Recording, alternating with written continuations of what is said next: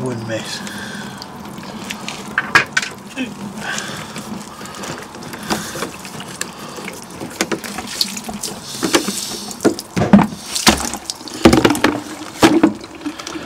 Save the water.